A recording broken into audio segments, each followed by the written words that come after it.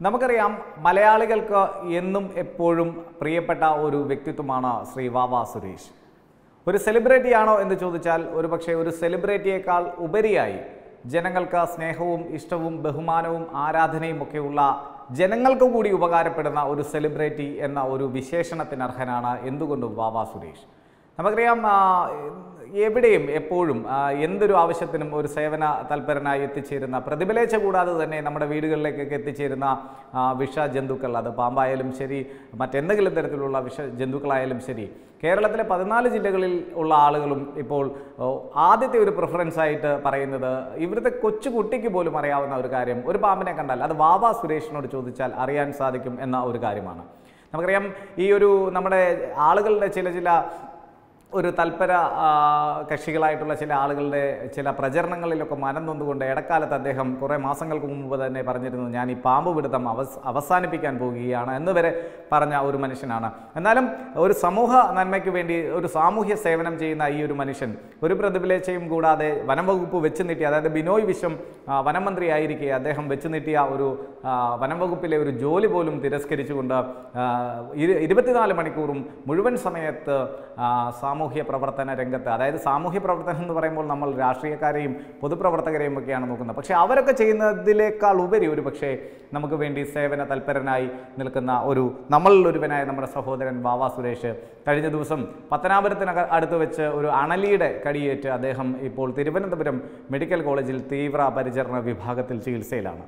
അദ്ദേഹം തീവ്രപരിചരണ വിഭാഗത്തിൽ ചികിത്സയിലായതു മുതൽ അദ്ദേഹത്തിന്റെ ആരോഗ്യസ്ഥിതിയെപ്പറ്റി നിരന്തരം ആശങ്കകളോടുകൂടിയും അല്ലെങ്കിൽ അത് അന്വേഷിച്ചുകൊണ്ടും നിരവധി അനവധി അന്വേഷണങ്ങളാണ് എല്ലാ മാധ്യമങ്ങളിലേക്കും എത്തിക്കൊണ്ടിരിക്കുന്നത്. നമുക്കും അത്തരത്തിലുള്ള നിരവധി അന്വേഷണങ്ങൾ വന്നുകൊണ്ടിരിക്കുന്നു. പക്ഷേ ചില ഓൺലൈൻ മാധ്യമങ്ങൾ അല്ലെങ്കിൽ ചില ഓൺലൈൻ സൈറ്റുകൾ അല്ലെങ്കിൽ ചില സമൂഹ മാധ്യമങ്ങളിലൂടെ സ്വന്തമായി ഒരു രീതിയിൽ ഒരു പത്രപ്രവർത്തനം നടത്തുന്ന ചില വ്യക്തികൾ.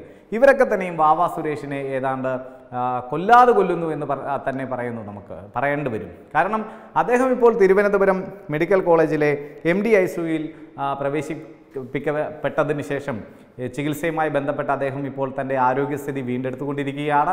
അദ്ദേഹം മെല്ലെ മെല്ലെ ജീവിതത്തിലേക്ക് തിരിച്ചു വരികയാണ്. അദ്ദേഹം ഭക്ഷണം കഴിക്കുന്നുണ്ട് അദ്ദേഹം ചിരിക്കുന്നുണ്ട് അദ്ദേഹം സംസാരിക്കുന്നുണ്ട് അദ്ദേഹം കാര്യങ്ങളോടൊക്കെ തന്നെ വളരെ മികച്ച രീതിയിൽ പ്രതികരിക്കുകയും ചെയ്യുന്നുണ്ട്. എന്നാലും അദ്ദേഹത്തെ പറ്റി ഒരു ചില അദ്ദേഹത്തിന്റെ ആരോഗ്യത്തെ സംബന്ധിക്കുന്ന അദ്ദേഹത്തിന്റെ ജീവനെ വരെ സംബന്ധിക്കുന്ന തരത്തിലേക്കുള്ള ആശങ്കകൾ പങ്കുവെച്ചുകൊണ്ട് പല പല ഓൺലൈൻ മാധ്യമങ്ങളിലൂടെയും അല്ലെങ്കിൽ ഓൺലൈൻ സൈറ്റുകളിലൂടെയും ചില നവമാധ്യമങ്ങളിലൂടെയും ഒക്കെ വരുന്ന ഇത്തരത്തിലുള്ള അബദ്ധജനിതമായ വാർ വാർത്തകൾക്ക് പിന്നാലെ പോകരുത് എന്ന് മാത്രമാണ് ഫേസ്ബുക്ക് പോസ്റ്റിലൂടെ വാവ സുരേഷ് തന്നെ നേരിട്ട് പറഞ്ഞിരിക്കുന്നത്. അതാണ് നമ്മൾ വിശ്വാസത്തിൽ എടുക്കേണ്ടത്.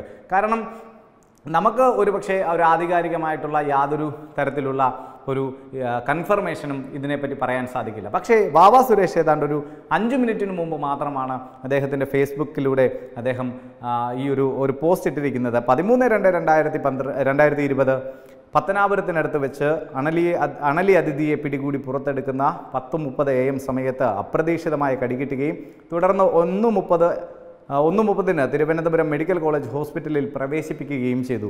ആരോഗ്യനില വഷളായതുകൊണ്ട് ഹോസ്പിറ്റലിൽ വെച്ച് തുടർ ചികിത്സാപരമായി എം ഡി ഐ സിയുയിൽ പ്രവേശിപ്പിക്കുകയും ചെയ്തു. ഒരുപാട് ഫേക്ക് ന്യൂസ് വരുന്നത് കൊണ്ടാണ് ഇപ്പോൾ ഈ പോസ്റ്റ് ഇടുന്നത്. സോഷ്യൽ മീഡിയയിലും നവമാധ്യമങ്ങളിൽ കൂടി വരുന്ന തെറ്റിദ്ധാരണ ആയ വാർത്തകൾക്ക് പിന്നിൽ ആരും പോകാതിരിക്കുക. പേടിക്കേണ്ടതായി ഒന്നും തന്നെയില്ല. ആരോഗ്യനിലയിൽ പുരോഗതി ഉള്ളതിനാൽ ഉടൻ തന്നെ വാർഡിലേക്ക് മാറ്റും. എം ഡി ഐ സിയിൽ ആയതുകൊണ്ട് ആണ് ഞാൻ ഇതുവരെ ഒന്നും പങ്കുവെക്കാതിരുന്നത്. വാർഡിലേക്ക് വന്നതിന് ശേഷം എന്റെ ആരോഗ്യ പുരോഗതികൾ ഈ പേജിലൂടെ അപ്ഡേറ്റ് ചെയ്യുന്നതാണ്. മെഡിക്കൽ കോളേജ് ഹോസ്പിറ്റലിലെ സൂപ്രൻ സാറിനും ഹോസ്പിറ്റൽ ജീവനക്കാർക്കും എന്നെ സ്നേഹിക്കുന്ന എനിക്ക് വേണ്ടി പ്രാർത്ഥിക്കുന്ന എല്ലാ സഹോദരി സഹോദരന്മാർക്കും ഒരുപാട് നന്ദി രേഖപ്പെടുത്തുന്നു. സ്നേഹപൂർവം വാവാ സുരേഷ്. ഇതാണ് അദ്ദേഹത്തിന്റെ ഏറ്റവും ഒടുവിലായിട്ട് വന്നിട്ടുള്ള ഒരു ഫേസ്ബുക്ക് പോസ്റ്റ്.